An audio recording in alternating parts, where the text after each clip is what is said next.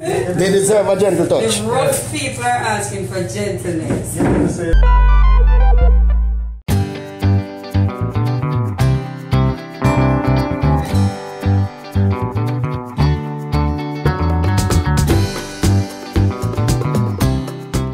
I just took my vaccination. Um, it was a seamless process and uh, we just wait and see as to the results of it. You use the right hand the most, so the left hand is first. Whoa. And hear me. Don't worry yourself. Before you know it, you'll be in and out. I really want to commend the May Pen staff for what is a very seamless process. All the areas are well coordinated from counseling into vaccination, observation, all the things were just in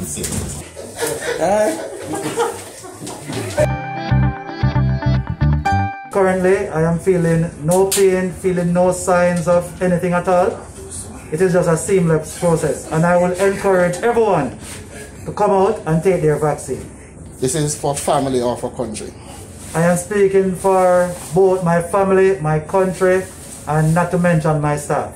Also, I would want to use the opportunity to encourage my staff members, other persons out there who are contemplating, um, think about the country and what we're facing now. I think um, we just have to do what we have to do so that we can quickly move back into normalcy. So, Mr. Phillips, from here, you're the moving over to observation. I'm here with the more senior officers of, of the police force, and they have just received their vaccines at the Mayfield Hospital site, and we are happy to say that everything has gone very smoothly, and the operation here is very um, efficient and smooth. And we encourage everyone to come by and have their vaccines done. Um, in order to make your appointment, you need to contact the Clarendon Health Department. The number is 986-7727. I'm the medical officer that is assigned to the observation um, facility today here at the vaccination center. And my purpose is just to ensure that persons who have gotten their vaccine and come to the observation center that they don't have any adverse reaction to the vaccine.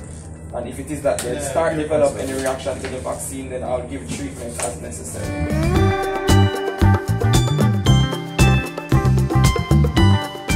Based on what I've experienced, you're very cordial, receptive. You know, the process was smooth. We understood each step of the way what is supposed to happen. So I'm very satisfied and pleased by the work that you're doing. And as the police, we appreciate it and we'll continue to give you the support. So uh, that's it? Yes, that's it. Thank you very much. You're welcome. Thank you. I'm going to the thing right now.